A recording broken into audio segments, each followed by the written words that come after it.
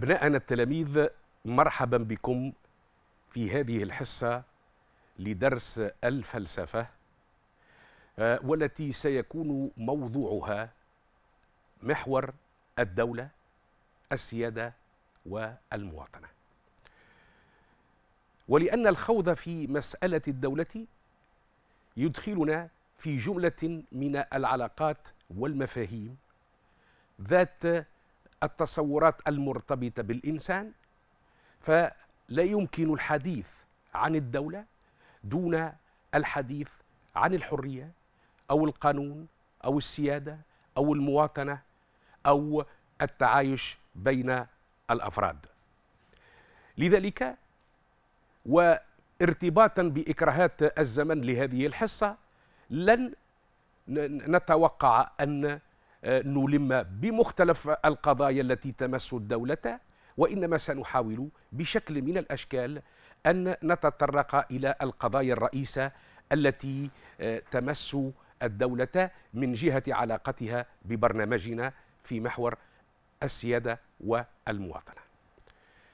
لذلك سيكون بطبيعة الحال مدخلنا هو التالي. إذا يضعنا التفكير في مسألة الدولة في قلب علاقات متشعبة لعل العنصر الجامع بينها هو الإنسان والاجتماع الإنساني. ذلك أن التفكير في الدولة يتنزل في إطار التفكير في الإنسان باعتباره كائنا سياسيا. وأن علة وجود الدولة هي تنظيم وجوده الاجتماعي في مختلف أبعاده. خاصة وأن الدولة المعاصرة تتدخل في الشؤون المختلفة للمجتمع من ثقافة وتعليم واقتصاد وتنظيم عمراني للمدن إلى آخره بما يحول الجسد الاجتماعي إلى جسد سياسي. إذا تطرق لمسألة الدولة كما سبق وقلنا يمس الإنسان يمس أيضا مسألة الاجتماع الإنساني لأنه لو كان الفرد يعيش بمفرده منعزلا لما احتاج إلى دولة ولكن حاجته إلى الدولة تتأتى من كونه كائنا اجتماعيا. فاجتماعيته تفرض عليه أن يتنظم لذلك كانت الدولة. بقي أنه لابد من التأكيد على أن تناول مسألة الدولة في علاقتها بالسيادة والمواطنة. يضعنا في سياق الدولة الحديثة والمعاصرة. فالوجود السياسي للإنسان المعاصر هو وجود داخل الدولة. ولعل ما يحدث اليوم جراء تفشي فيروس كوفيد التسعة عشر يعزز القول بأهمية الدولة في رعاية وحماية مواطنيها وألا حل للأفراد خارجها بعد أن تم تفعيل إغلاق الحدود. إذا حديثنا عن الدولة لن نرجع به إلى آه، آه، آه، العصر القديم أو إلى بدايات وجود الدولة أو إلى التنظيرات القديمة وإنما. سنركز في عملنا هذا على الأفكار التي رافقت الدولة في وجودها الحديث ووجودها المعاصر هذه الدولة التي تتدخل في تفاصيل التفاصيل فنجد لها في البيئة سياسة بيئية ونجد لها في الثقافة سياسة ثقافية وفي التعليم سياسة تعليمية وفي الاقتصاد وهكذا دواليك. إذا هي لا يخرج تقريبا من آه، شأن اختصاصها شيء يخص الإنسان وحتى الطبيعة. يقول جورج بيردو قد يحصل أن نلعن هذه الدولة ولكننا نشعر أننا مرتبطون بها في السراء أو الضراء. إذا الدولة سواء كانت هذه الدولة بشكل من الأشكال معنى آه، آه، قابلة أو آه، ضامنة للحرية أو أنها مانعة لهذه الحرية. سواء كانت هذه الدولة ديمقراطية أو غيرها من الأنظمة الأخرى فإن مصيرنا يرتبط بها بشكل أو بآخر. وعلى هذا الأساس لن يكون عملنا تأريخا للدولة وإنما سينصب على التفكير في الدولة في ارتباطها بالسيادة والمواطنة بما يجعلنا نهتم بالبعدين المفاهيمي والعلائق لهذه المسألة. إذا لن يكون عملنا تاريخا لن يكون عملنا أيضا تاريخا للأفكار الفلسفية التي رافقت وجود الدولة وإنما سنتطرق إلى هذه المسألة في علاقة بمفاهيمها الرئيسة والتي أدرجناها في هذا التخطيط. اولا سنتطرق إلى مفهوم الدولة وعلاقتها بالسلطة. اذا مفهوم الدولة وعلاقتها بالسلطة لأن هناك وشائج قرب بين السلطة والدولة تتأتى من علاقات الجوار بينهما فهناك مفهومان متجاوران وهما الدولة والسلطة وغالبا ما نقع ضحية الخلط. لذلك سنتساءل عن مفهوم الدولة عن مفهوم السلطة وإلى أي مدى يمكن اختزال السلطة في الدولة. ثانيا حديثنا عن سلطة الدولة سيقودنا حتما إلى الحديث عن مفهوم السيادة. سنتطرق إلى مفهوم السيادة ثم سنتطرق أيضا إلى مقوماتها وقد اخترنا أن نعالج هذه المقومات من خلال ثلاث أطروحات. الأولى القوة الشرعية بالعودة إلى أطروحة توماس هوبز. ثانيا القانون كمقوم للسيادة من خلال جون جاك روسو والقوة والقانون من خلال سبينوزا. إذا بعد التطرق إلى مقومات الدولة مقومات سيادة الدولة سنتطرق إلى مسألة مهمة جدا وهي مفهوم المواطنة. لذلك سنتناول المواطنة من جهتين. أولا من جهة مفهومه مفهوم المواطنة أي من جهة المفهوم. ثانيا في التلازم بين المواطنة والديمقراطية. رابعا سنتطرق إلى مفارقات السيادة أو بلغة بين ظفرين حدود السيادة أو مآخذ السيادة. وهي أ مشكل القوة والعنف في الدولة. ب القوانين في أن القوانين ليست محايدة وليست دائما مشروعة. جيم الهوية الطبقية للدولة. خامسا وأخيرا كعنصر أخير في الحد من السيادة تحقيقا للمواطنة وهو ما سنقترح من خلاله أ الديمقراطية المركبة ب المواطنة العالمية جيم في الحق في المقاومة ودل تفعيل دور المجتمع المدني. بطبيعة الحال لهذا الدرس رهان ورهانه هو الأساسي هو الذي تتضمنه هذه المقارنة يرتبط بحل التوتر بين حاجة الإنسان إلى التنظيم السياسي كضرورة بطبيعة الحال كشرط للتعايش السلمي وما يفترضه من سلطة وبين ضمان القيم الإنسانية وخاصة الحرية باعتبارها النسيج المؤلف لكينونة الإنسان كما يقول سارتر.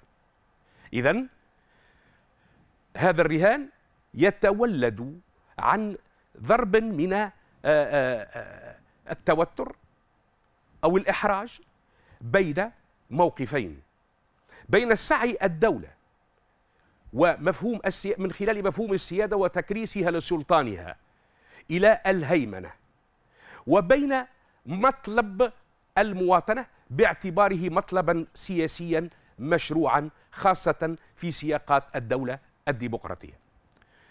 وإذ تشكل المعاصرة الدولة المعاصرة إجابة عن هذه التوجسات.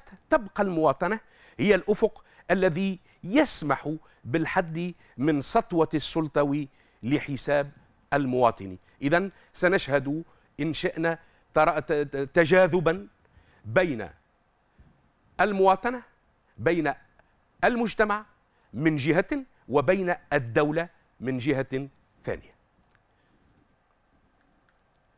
اولا بطبيعة الحال سننطلق في مفهوم الدولة وعلاقتها بالسلطة. بطبيعة الحال استئناسا بدروسنا مع تلاميذنا اكتشفنا أو يكتشف أغلبنا أننا نقع أن تلاميذنا يقعون أحيانا ضحية عدم التمييز بين مفاهيم متجاورة. كأن يتم سؤالهم مثلا ماذا تعني بالدولة؟ غالبا ما تكون الإجابة اختزالا للدولة في الحاكم أو اختزالا للدولة في السلطة. وهذا الأمر مجانب للصواب. لماذا مجانب للصواب؟ لأن هناك خلافات أو اختلافات نوعية بين السلطة وبين الدولة. وعلى هذا الأساس يمكننا أن ننطلق بالقول غالبا ما نقع ضحية الخلط بين مفاهيم متجاورة على شاكلة الدولة والسلطة والحال أنه لا شرعية لاختزال السلطة في الدولة فالسلطة أشمل وأوسع مجالا ولا يمكن حصرها في الحقل السياسي فهي محايثة لكل العلاقات الاجتماعية القائمة على تفاوت موازين القوى. لذلك يقول فوكو حيثما ولينا وجوهنا توجد سلطة. إذا يمكن الإقرار بأن نعم الدولة سلطة ولكن ليست كل سلطة يمكن اختزالها في الدولة لأن السلطة مفهوم أكثر اتساعا وهو والسلطة مبثوثة تقريبا في كامل أرجاء الجسد الاجتماعي. توجد حيث توجد علاقة اجتماعية ما تخضع لعدم التفاوت بين قطبيها.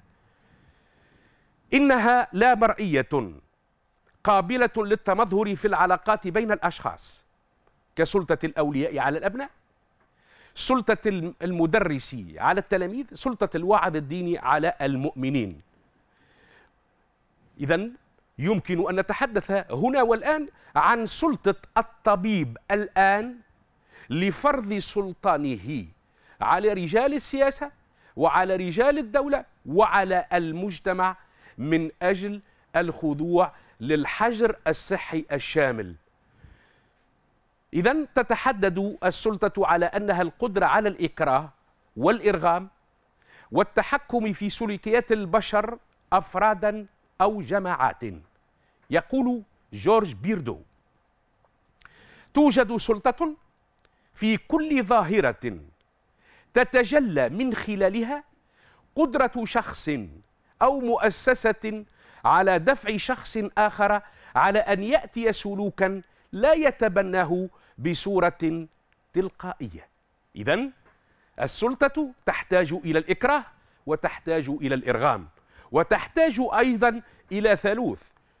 آمر يصدر الأوامر مأمور يطيع هذه الأوامر وأيضا الأمر الذي يحصل بينهما كموضوع للأمر وموضوع للطاعة. تتميز في حين عندما نتحول الحديث عن الدولة. تتميز الدولة بكونها ليست السلطة بمعناها الشامل وإنما هي قطب أو جهاز. تتمركز فيه السلط وتتميز بانتظامها داخل مؤسسات وتحتكم إلى فكرة الحق التي تتجسد في قوانين تمنح سلطتها نوعا من الشرعية. وتمتلك وظيفة اتخاذ التدابير والإجراءات التحكمية التي تضمن حسن سير المجتمع سعيا إلى إقرار الوحدة وضمان التعايش السلمي بين الأفراد. إذا يمكن اعتبار أن الدولة تتميز عن السلطة بخصائص ثلاث. أولا انتظامها داخل مؤسسات أي أن المسألة ليست مشخصنة أو شخصية. وإنما المسألة مؤسساتية. ثانيا ارتباطها بجملة من القوانين التي تنظم سيرها وتنظم خطواتها وتدقق حدودها. ثالثا أن الدولة حريصة كل الحرص على ضمان وحدة المجتمع واستقراره وهو ما لا نجده في أغلب الأحيان داخل السلطة بمعناها السابق للدولة.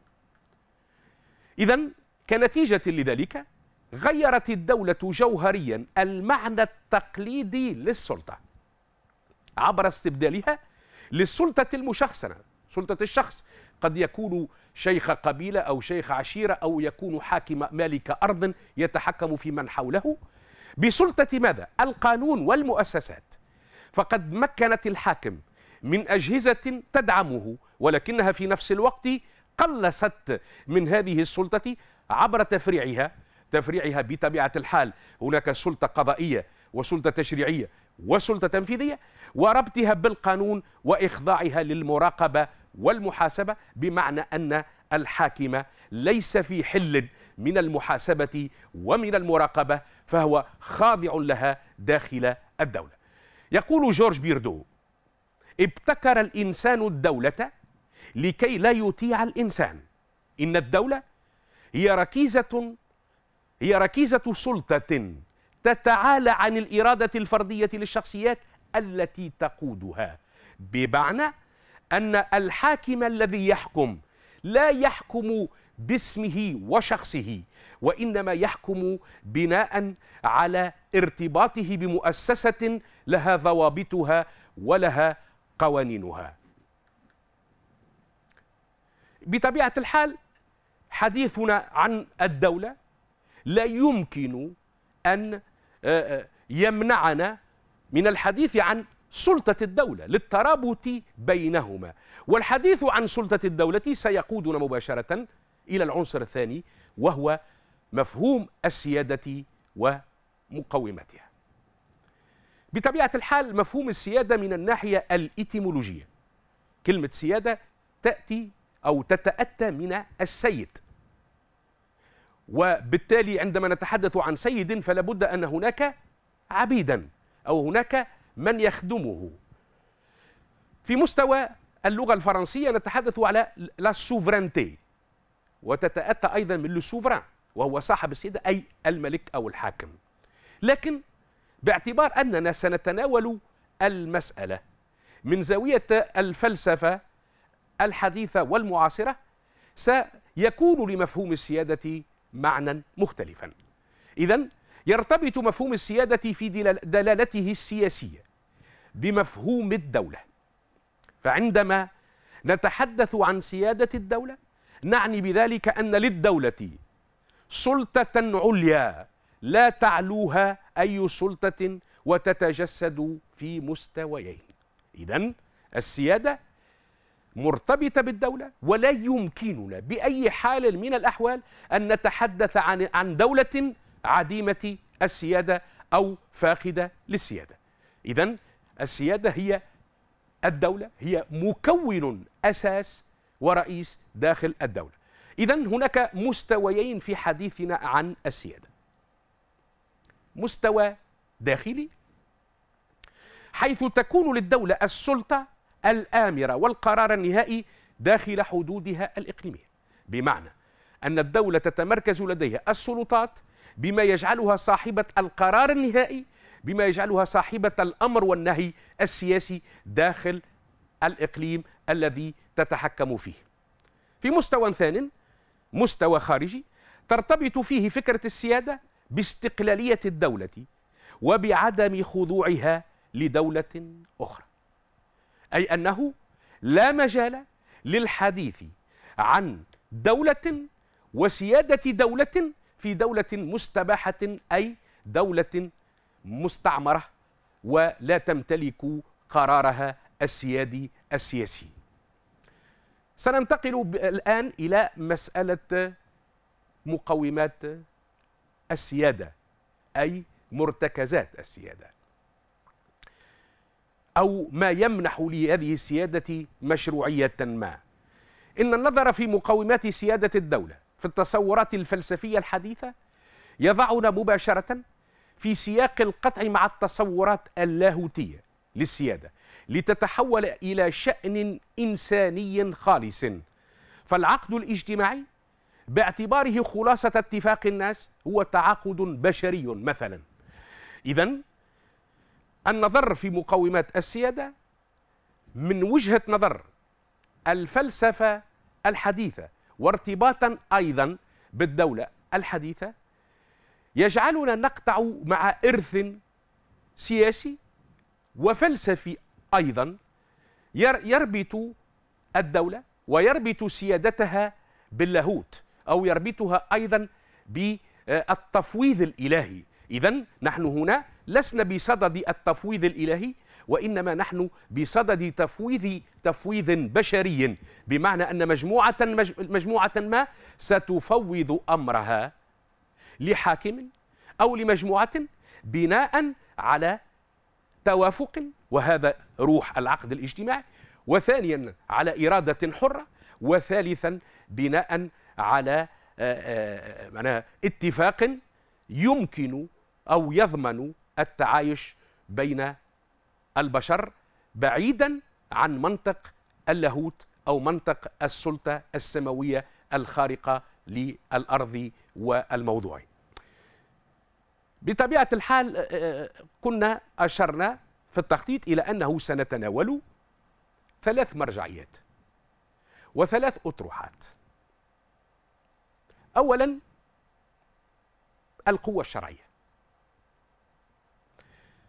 إن الدولة وكل دولة تحتاج إلى مقوم أساس وهو القوة والتي تختلف عن قوة الأفراد بشرعيتها. ولعلنا نجد في فهم هوبز لسيادة الدولة أفضل مرجع يساعدنا على فهم المسألة. وإن كان أيضا نيكولا كوبرنيك يمكنه نيكولا ماكيافيل عفوا يمكنه أن يكون أيضا مرجعا في هذا السياق. إذا آه، الدولة كما قلنا تحتاج إلى القوة كمقوم لها ضامن لوجودها واستقرارها وعنصر يساعد في تنظيم المجتمع. الدولة تحتاج إلى قوة ولكن لابد من التمييز بين قوة الدولة وقوة الأفراد. فإذا كانت قوة الدولة مقننة وتح ولها مشروعية ولها ضوابط ولها أهداف ترتبط بسيادات بسيادة الدولة وترتبط بسياساتها وأهدافها في ضمان استقرار المجتمع وفي ضمان تعايش أفراده.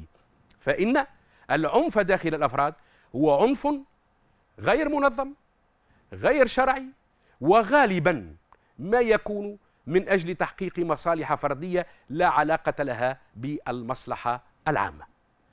لذلك يعتبر هوبز أن الوسيلة الوحيدة لإقامة قوة مشتركة قادرة على الدفاع عن الناس من الهجمات الخارجية أو من الأضرار الداخلية هو اقتناع الجميع بإخضاع إراداتهم لإرادة شخص أو جمعية بما يوحدهم في شخص إنسان واحد نسميه الدولة إذا هناك اجتماع إنساني اجتماع حول ماذا؟ حول أهداف حول قضايا وحول ضرورة الاجتماع والاتفاق لدرء المخاطر الخارجية وأيضا لدرء المخاطر الداخلية وسطوة الإنسان على الإنسان.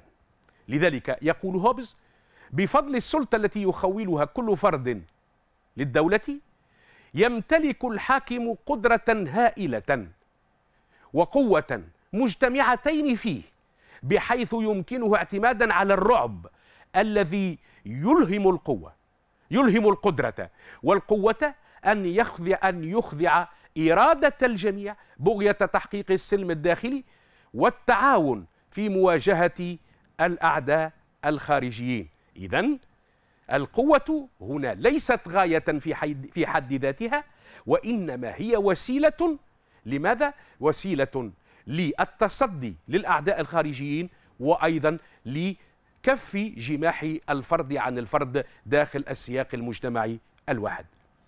ويبرر هوبز استخدام القوة بطبيعة الإنسان المحكوم بالأهواء ونزوعه إلى الهيمنة على الآخرين. لذلك كان لابد للدولة من أن تحتكر القوة تملكا واستخداما. إذا هذا ما يبرر استخدام أو ما يبرر احتكار الدولة للقوة واعتبار أن القوة الشرعية هي مقوم أساس لسيادة الدولة في تصور هوبز هو الطبيعة الإنسانية الأنانية الشريرة القائمة على آه، آه، الحرية المطلقة وسعي الإنسان إلى السطو على الإنسان وسعي الإنسان إلى إخضاع الآخرين. لذلك حتى ننتقل من حالة حرب واقتتال تهدد الوجود الإنساني كان لابد من تحقيق السلام وكان لابد من الاتفاق وهذا الاتفاق هو العقد الاجتماعي الذي بمقتضاه تم التوافق على حاكم يحتكر السيادة ويسمى صاحب السيادة. هذا إذا هذا المؤتمن على هؤلاء الأشخاص. يسمى الملك أو الحاكم الأسمى فهو صاحب السيادة والضامر للسلام والضامر إلى عدم العودة إلى حالة الحرب وكل فرد عداه يعتبر رعية.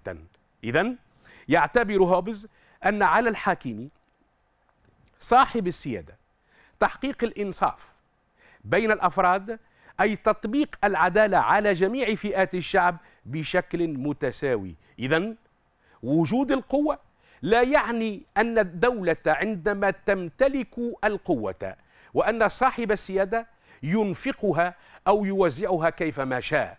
وإنما هو موكول إليه ومطالب ضرورة بتطبيق القانون على الجميع وإخضاعهم وأن تكون القوة هنا في خدمة استقرار الجميع وليست في خدمة شخص أو فئة أو طبقة. إذا الحديث عن أصل السيادة من جهة القوة الشرعية له مآخذ. ويمكن العودة إلى روسو الذي اعتبر أن في جعل القوة أصلا للسيادة ومقوما لها.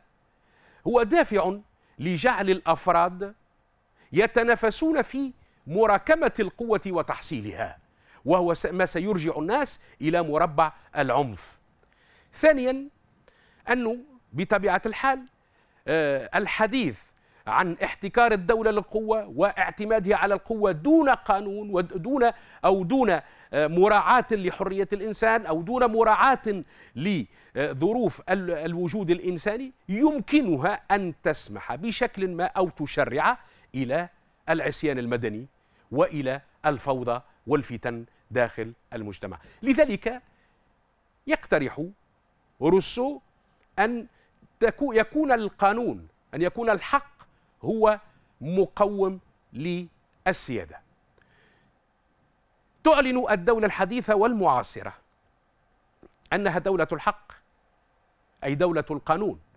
لذلك لا عجب في أن يشكل القانون مقوما لسيادة الدولة ولعله لا مهرب لنا في هذا المجال من العودة إلى روسو. بطبيعة الحال روسو يدرس تقريبا في كليات الفلسفة ويدرس أيضا في كليات الحقوق وكليات العلوم السياسية وذلك لأهميته في سياق خاصة ربط القانون بمسألة السيادة وربط القانون بالديمقراطية إلى آخره. يعتبر روسو أن القانون هو تعبير عن الإرادة العامة التي هي أساس السيادة وقاعدة الرابطة الاجتماعية في الدولة.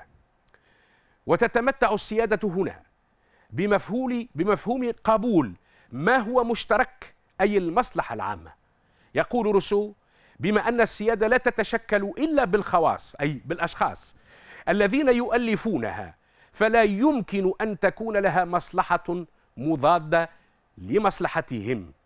وإذا كان الفرد قبل العقد قبل العقد يعبر عن رغبات لا تحددها مبادئ فإنه مع العقد وبفضله أصبح الفرد محكوما بإرادة معقلنة ومقننة فالعقد بهذا المعنى يشكل تحولا إيجابيا في نوعية الوجود الإنساني. إذا رغم أن الإنسان كما يتصور آه، آه، روسو ويفترض أنه كان في حالة الطبيعة يعيش الحرية المطلقة ولكنه بطبيعة الحال كان عاجزا على أن ينظم نفسه للتصدي للطبيعة والتصدي للأخطار. وكان لابد له من أن يجتمع بالآخرين واجتماعه هذا فرض عليه أن يتنازل عن أشياء عن حقوق ولكنه آه، حاول من يحاول روسو أن يؤكد على أن الحقوق الأصيلة في الإنسان والتي توجد في الطبيعة تبقى حقوق ثابتة. إذا إن الهدف الأساسي من القوانين هو التعبير عن الإرادة العامة ويعني ويعني المساواة بين الجميع. ذلك أن العقد الاجتماعي لم ينشأ بين شعب وأمير بل نشأ بين أحرار متساوين بالطبيعة. فبمقتضى العقد الاجتماعي تنازل الأفراد عن سيادتهم إلى كائن معنوي هو مجموعهم. يقول روسو حالما يوجد سيد لا وجود لشعب. يتصف بالسيادة ومن ثم يندثر الجسد السياسي. اذا انتقال الإنسان من حالة الطبيعة إلى حالة الاجتماع المدني السياسي داخل الدولة لا تعني أن الإنسان قد تنازل عن كل شيء وإنما تنازل عن إدارة شؤون نفسه بنفسه لصالح الهيئة الحاكمة التي سيختارها بطبيعة الحال والتي ستكون ضامنة. ضامنة بطبيعة الحال ليس لكل شخص في ما يريده من مصلحة شخصية وإنما ضامنة للمشترك بين هؤلاء جميعا أي ما يوحدهم وهو ما تعبر عنه بطبيعة الحال الإرادة العامة. إنما يجعل طاعة الدولة واجبا هو أن طاعتها ليست خضوعا لنزوات شخص وإنما هي امتثال للقانون المجسد للعقل فهي السيادة القانونية المعبرة عن الإرادة العامة. إنما يمنح للقانون مشروعيته كمقوم لسيادة الدولة هو الطبيعة البريئة للإنسان والتي ستجعله ينساق تلقائيا للإرادة العامة. ومن جهة ثانية التزام الدولة بتحقيق المساواة.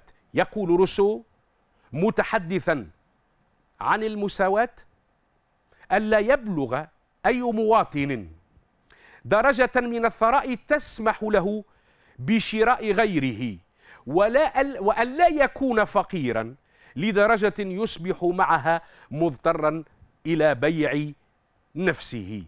إذا ما نستنتجه من موقف روسو هو أن انتقال الإنسان من حالة الطبيعة إلى حالة الدولة أو إلى حالة الاجتماع المدني ليس فيه إلا كثير من من المزايا لهذا الإنسان بطبيعة الحال رغم تنازله عن سيادة نفسه بنفسه إلا أنه سيحافظ على حريته لأنه لن يخضع لشخص أو لنزوة حاكم وإنما سيخضع للقانون الذي شرعه أو ساهم في تشريعه. هذا من جهة.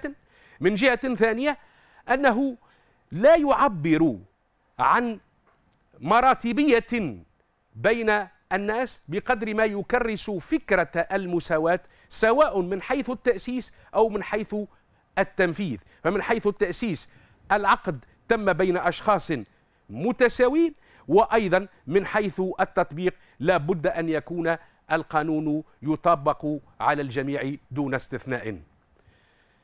مع روسو إذا تتحدد علاقة المواطن بالدولة من جهة الالتزام لا من جهة الإلزام. إذا بطبيعة الحال تطرقنا إلى مسألة القوة ثم إلى القانون. ولكن بالنظر للواقع الإنساني المعيشي وبالنظر إلى تجارب السياسية المختلفة في مختلف الدول يبدو أن خضوع الناس إلى القانون لا يمكن أن يكون تلقائيا وإنما غالبا ما يكون في علاقة بوجود آلة رادعة. لذلك يقول ابن خلدون يسمي ابن خلدون السلطة أو الدولة يسميها باليد القاهرة التي تمنع بعضهم عن بعض لما يتميزون به من أنانية وجور. جيم القانون والقوة. يحتاج كل مجتمع بشري إلى قانون ينظم العلاقات بين الناس. إذ لو كان العقل وحده هو الذي يسيطر على أفعال الناس لما احتاج إلا إلى القانون. غير أن الانفعالات والغرائز تتحكم في الجزء الأكبر من رغبات الناس. ومن هنا احتاج كل مجتمع إلى حكومة وقوانين لردع أفراده وهكذا تنشأ الدولة باعتبارها أعلى أنواع التنظيم. يقول سبينوزا من المؤكد أن واجبات المرء نحو وطنه هي أسمى الواجبات التي يستطيع أداءها. إذ لو أزيلت لما بقي الإنسان من خير لما بقي للإنسان من خير. لذلك فإن المصلحة العامة هي القانون الأعلى الذي ينبغي أن يخضع له كل قانون آخر سواء كان إلهيا أم بشريا. إذا سبينوزا يتحدث عن مشروعية القانون ويتحدث أيضا عن مشروعية القوة. بالنظر إلى مسألة أساسية هو أن الإنسان ليس عقلا محضا.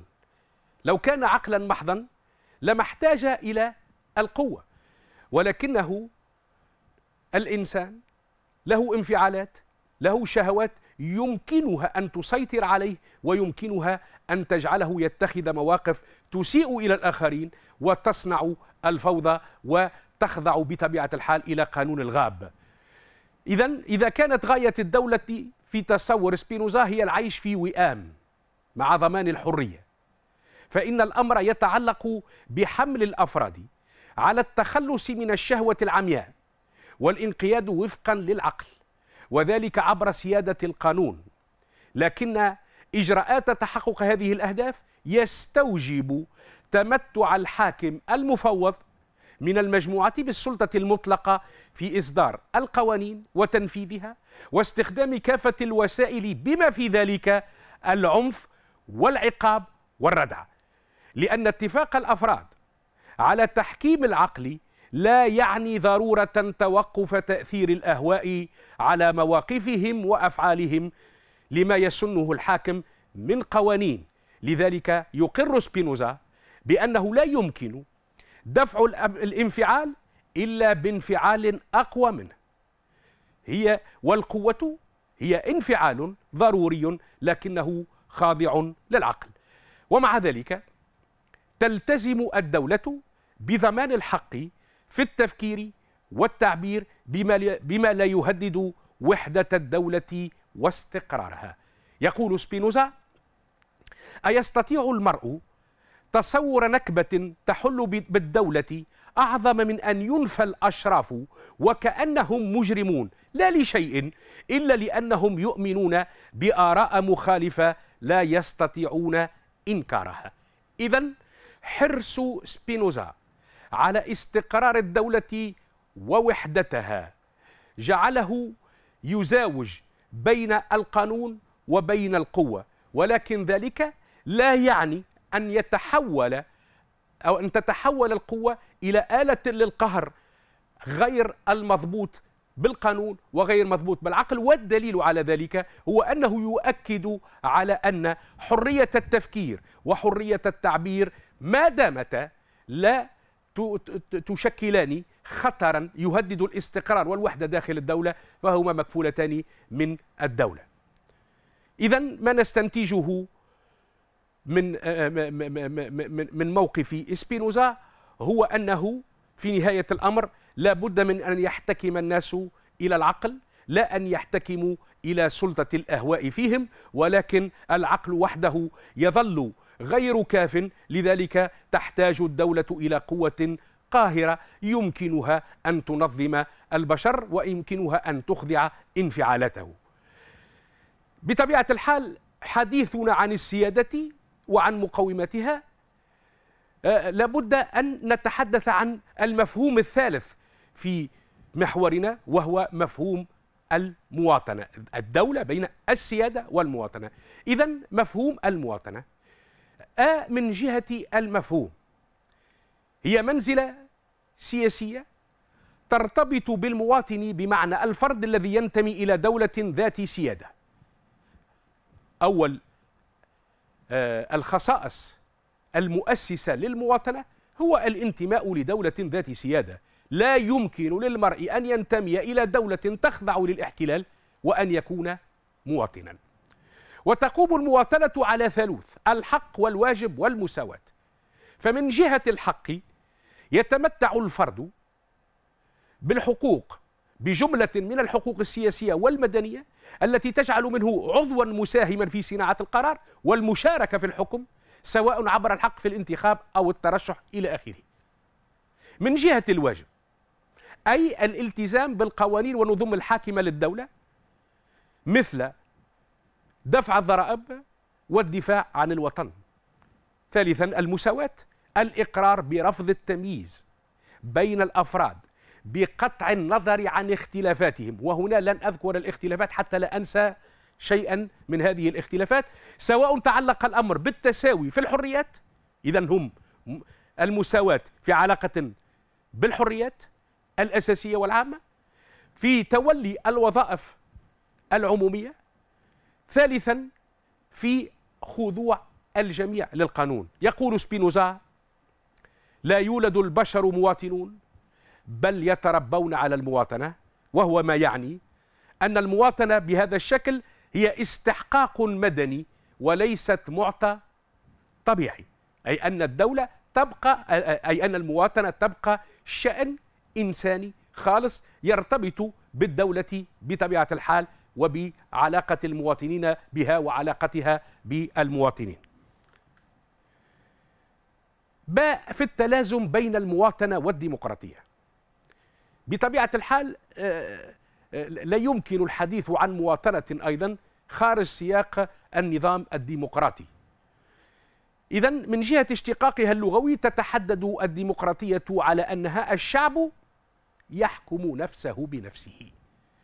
ولكن الديمقراطية بمعناها الفلسفي والسياسي هي نظام حكم له مقومته ومن بينها.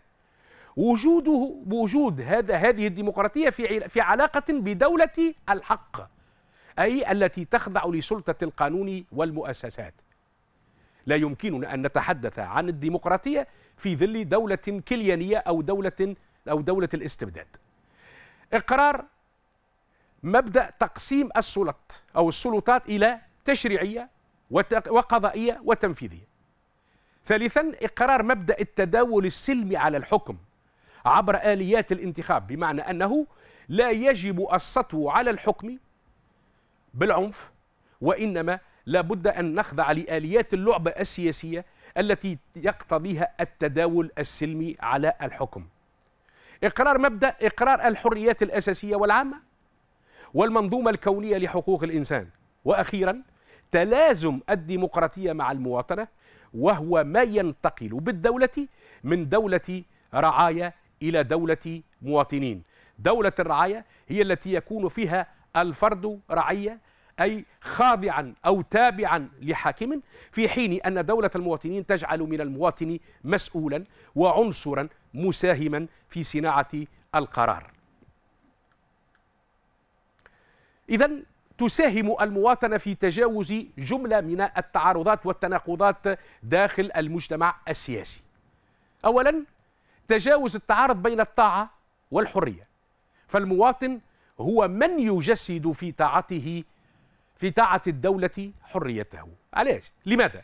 لأن الحرية في التصور الفلسفي الديمقراطي لا يعني أن يصنع المرء ما يريد لأن عندما ما أريده أنا قد لا يريده الآخر وهو ما يقودنا إلى تناقض الإرادات الذي من شأنه أن يدخلنا في متاهات العنف ومتاهات التبعية والخضوع. إذا لا يمكن أن تكون الحرية أن يصنع المرء ما يريد.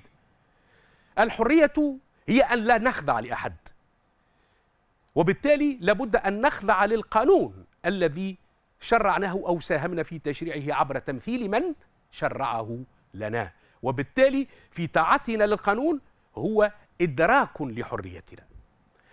المستوى الثاني حل التعارض بين المصلحة الخاصة والمصلحة العامة.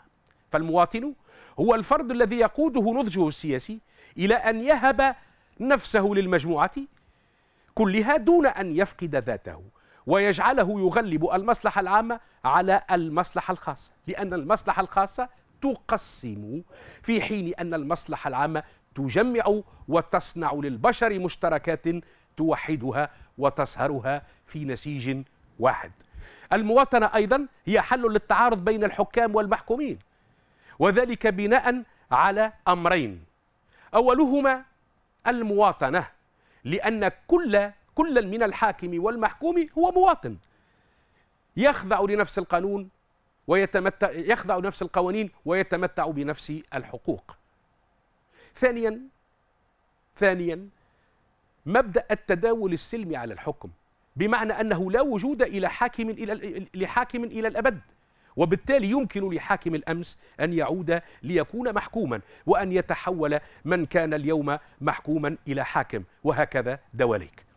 اذا يقول كلود لوفور إن الديمقراطية قوة إبداعية قادرة على إحداث رجة بل على نحر التنين الكلياني اذا الديمقراطية قوة إبداعية وسنرى ذلك فيما بعد لأن الديمقراطية هي نظام مفتوح قابل للتعديل وقابل للتغيير بما يسمح بأن يتلائم يتلائم مع آه، تغيرات الواقع الاجتماعي والسياسي. سننتقل الآن إلى مفارقات السيادة. صحيح أن السيادة عنصر رئيس في الدولة ولا يمكن أن نتحدث عن دولة دون سيادة. دون سيادة ولكن نكتشف أن للدولة وللسيادة جملة من المفارقات تجعل عملية التجاذب بين فكرة المواطنة من جهة وحق المواطن في الحرية من جهة وبين آه، آه، استخدام أو آه، أنا استخدام الدولة للسلطة بشكل قد يكون مبالغا فيه مما يؤسس إلى تضارب بين الموقفين. إذا نجد أنفسنا في التفكير في مسألة السيادة أمام جملة من المفارقات التي تعبر عن التوتر بين هيمنة الدولة ومطلب المواطنة. يقول بول ريكور ينزع صاحب السيادة دوما إلى ابتزاز السيادة. ذلك هو الداء السياسي الجوهري نعم حتى في أعتى الديمقراطيات يسعى الفاعلون السياسيون داخل السلطة أي الحكام إلى أن يبتزوا السياسة السيادة وأن يبتزوا بطبيعة الحال أن يفتكوا من المواطنين حقوقهم أو أن يقلصوا منها قدر الإمكان. وبطبيعة الحال لأن سلطة الدولة لها مغرياتها وترتبط أيضا ب نزوات الإنسان وأنانيته. لذلك يقول أنا السلطة تفقد الصواب. لذلك هذه السلطة التي يمكن أن تفقد الصواب هي تحتاج أيضا إلى كوابح. إذا مشكل القوة والعنف. كل دولة كل دولة مهما كانت مستبدة فاشية ديمقراطية كل دولة تقوم على العنف والقمع بحيث أنه من مقتضيات سيادة الدولة احتكار العنف المشروع. وغالبا ما تتضخم آلة القمع على حساب حرية المواطن. يقول تروتسكي إن جميع الدول قائمة على القوة وذلك دون استثناء. باء في أن القوانين ليست دائما محايدة وليست دائما مشروعة. وهو ما يدفعنا إلى التساؤل عما وضعها وسنها وذلك بالنظر إلى عدم مراعاتها دائما للمصلحة العامة. ثم إن الحديث عن القوانين غالبا ما يصطدم بتناقض مع المشروعية أو العكس بمعنى أنه ليس كل قانون مشروع وليس كل مشروع قانوني. ففي المجتمعات القديمة كانت العبودية ينظمها القانون ويسمح بها في حين أن لا مشروعية إيثيقية لها. في نفس السياق قد يكون ما هو شرعي غير قانوني مثل الحق في التمرد ومقاومة الأنظمة الجائرة. إذا آه، آه، الدولة آه، القانون ليس محايد القانون يخدم مصالح بعينها بطبيعة الحال. وأيضا نشهد عدم انتظام في العلاقة بين القانوني وبين الشرعي ومثلا على سبيل المثال في في تاريخ ليس بالبعيد المرأة كانت مستبعدة من عملية الانتخاب ولم تكن مواطنة ولم تكن تتمتع بحقوقها إلا بعد نضالات بطبيعة الحال وبعد جهود فكرية وسياسية واحتجاجية أمكن للمرأة أن تصبح إذا جزءا من العملية الانتخابية والديمقراطية. إذا ما نستنتج من هذا هو أن ما ما يمكن أن يوضع في قوانين قد لا يكون مشروعا.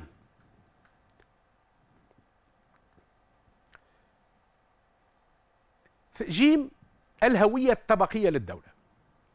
وهو ما يؤكده ماركس من أن الدولة هي التعبير السياسي والمؤسساتي المكثف لهيمنة طبقة على طبقة أخرى بما يضمن مصالح الطبقة المهيمنة اقتصاديا ويمنحها مناعة سياسية وحماية قانونية.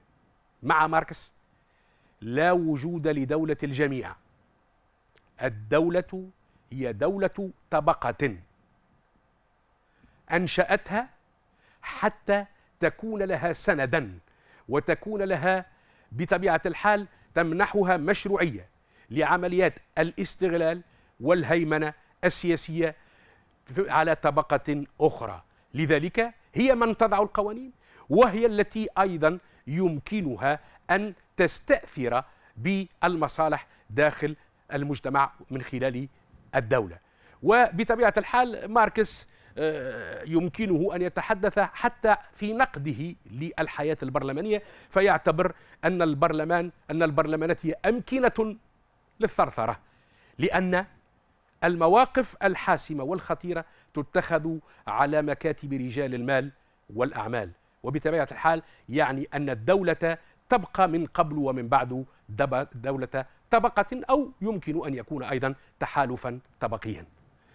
إذا آه، آه، يمكننا الحديث أيضا عن تورط كثير من الدول التي تدافع عن الديمقراطية والحريات في انتهاك سيادات الدول الأخرى عبر آليات الاستعمار والهيمنة. إذا هم يتحدثون عن الديمقراطية وحقوق الإنسان وحق الشعوب في تقرير مصيرها ولكنهم في نفس السياق يمارسون الهيمنة والاستعمار على الشعوب الأخرى. ثم إنه إلى أي مدى يحق لنا أن نتحدث؟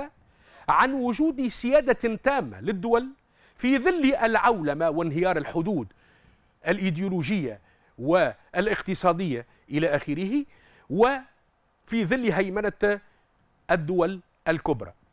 مسألة السيادة التامة أعتقد أنها مسألة تحتاج إلى مراجعة حتى عند بعض الدول القوية. ننتقل الآن إلى العنصر الأخير الخامس. وبطبيعة الحال هو عنوانه في الحد من السيادة تحقيقا للمواطنة. أمام تضخم جهاز الدولة وقضم حريات الأفراد وأمام انعدام التوازن الطبقي وتغول أصحاب المال والنفوذ مثل الفلاسفة وعلماء السياسة والاجتماع والفاعلون في الحقل المدني قوة قوة مضادة للحد من تعاظم السيادة على سيا... على حساب المواطنة. وذلك عبر إقرار جملة من آه، آه، آه، معناها الأفكار أو المشاريع. قبل أن أنطلق في هذه المسألة لابد من التنصيص على مسألة مهمة جدا. أن الديمقراطية والديمقراطية التمثيلية في حد ذاتها هي ديمقراطية مأزومة وفي مأزق. وأن من تجلياتها هو الاغتراب السياسي. إذ أن الذين يختارون نوابهم وممثليهم يختارونهم في أغلب الأحيان بناء على ترابط في الأفكار وخاصة في المصالح. المشكل هو أن هؤلاء النواب عندما يتم انتخابهم ويلتحقون بسياق آخر تصبح لهم مصالح خاصة وبالتالي يقطعون مع مصالح من تم انتخابهم وهذا ما يجعل الديمقراطية التمثيلية في ماذا؟ مظهر ثان من مظاهر محدودية الديمقراطية التمثيلية هو اختزالها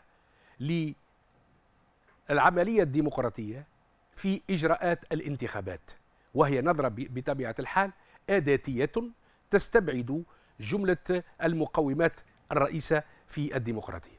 وثانيا وهذا يتصل بها أيضا ثالثا أن دخول المال السياسي في إفساد عملية القرار وفي إفساد عملية الاختيار وهذا الأمر يوجد تقريبا في كل المجتمعات وتقريبا في كل الديمقراطيات. لذلك في كل الديمقراطيات بطبيعة الحال ذات التوجه التمثيلي.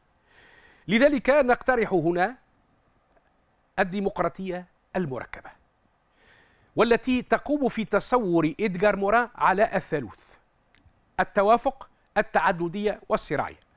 التوافق أي توافق أغلب المواطنين واحترام قواعد اللعبة الديمقراطية.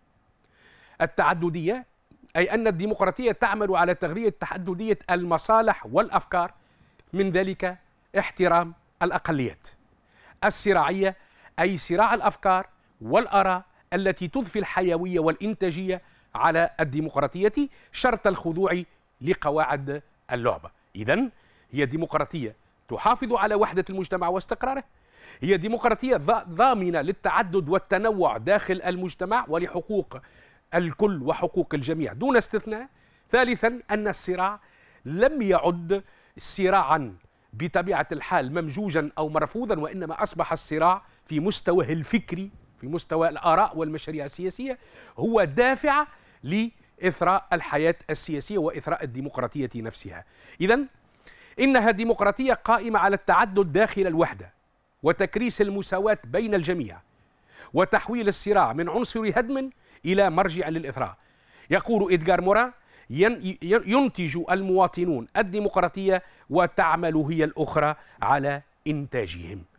وهذا المقصود به أن الديمقراطية هي نظام مفتوح خلافا للأنظمة الشمولية المنغلقة. النظام الديمقراطي هو نظام قابل للتعديل قابل للتغيير قابل للإضافة وقابل للتحسين. لذلك بقدر ما تصنعنا الديمقراطية بقدر ما نسهم نحن أيضا في تعزيز هذه الديمقراطية عبر التعديل عبر التصحيح وعبر إضافة ما هو منقوص فيها. باء المواطنة العالمية هي مبدأ حقوقي ومسار تشريعي وأفق سياسي إيتيقي يفتح أمام الإنسان مجالا للأمل في تحقيق الكرامة والرفاه. ولأن البشر ينتمون إلى عالم واحد فهم بهذا المعنى مواطنو عالم واحد. وتؤسس المواطنة العالمية لسياسة كوكبية. تتجاوز حدود الدولة الدولة المحلية بطبيعة الحال لكي تشرع إمكانية التدخل في سيادتها وإخضاعها للمراقبة والعقاب إذا ما أخلت بالمواثيق الدولية أو إذا ما انتهكت حقوق الإنسان لمواطنيها. في مستوى آخر تهدف المواطنة العالمية إلى إنشاء علاقات إنسانية قائمة على التعاون والتضامن والتآزر إلى آخره. إذا في نهاية الأمر آه، مفهوم المواطنة العالمية هو أفق يفتح للإنسان من أجل أن لا يظل الحاكم في دولة ما بمنأى عن المعاقبة أو عن الرقابة أو أو المحاسبة. وبالتالي يمكنه إن كان هو الحاكم بأمره أن يخشى من تداعيات ذلك في علاقة بالدول الأخرى أو في علاقة بالمنظمات آه، الدولية. لكن لابد هنا من الإشارة ومن التحذير لوجود وجه سلبي للمواطنة العالمية بالنظر إلى ما يحدث في الواقع من ازدواجية المعايير. إذا ازدواجية المعايير سواء داخل المنظمات أو في علاقات الدول العظمى بالدول الأخرى ثم تبرير التدخل الخارجي في سياسات الدول. إذا يمكن أن تتحول مسألة الدفاع عن الديمقراطية أو الدفاع عن شخص, شخص انتهكت حريته كتعلة لتدخل دولة على دولة تدخل دولة انتهاكا لسيادة دولة أخرى. من أجل مصالح هي في الواقع أبعد بكثير عن مسألة الدفاع عن حقوق الإنسان. جيم الحق في المقاومة. تصديا لانحرافات سياسات الدولة سواء في توجهاتها الاقتصادية والاجتماعية أو في سعيها المحموم لانتهاك حقوق الإنسان والتضييق على الحريات تصبح المقاومة حقا مشروعا وتتمظهر في أشكال الاحتجاج المختلفة والتي يكون أقصاها إعلان العصيان المدني. هي احتجاجات مدنية تبقى في حدود إعلان رفض التوجهات الجائرة للدولة تفكيرا وتعبيرا. هنا لابد من الإحالة أيضا على آه، عالم الاجتماع الفرنسي بيير بورديو الذي يعتبر أن في مواجهة غطرسة الدولة يجد المواطنون أنفسهم أمام إمكانيتين. إما أن يحتجوا وإما أن ينفصلوا. وإذا كانت عملية الانفصال تهدد استقرار المجتمع وبعدوى الانفصال خاصة في مجتمعات يزخر بالأقليات فكل أقلية تظفر بإمكانية أن تنفصل ستعدو تتحول عفوا العدوى إلى غيرها من الأقليات وهذا ما يهدد الدولة. الاحتجاج؟ يبقى أمرا مشروعا وأمرا مطلوبا وممكنا لأنه لا يهدد الدولة في وحدتها وفي استقرارها بل أنه يشكل مرجعا لتصحيح سياسات الدولة وتعديلها قدر الإمكان. النقطة الأخيرة هي تفعيل دور المجتمع المدني.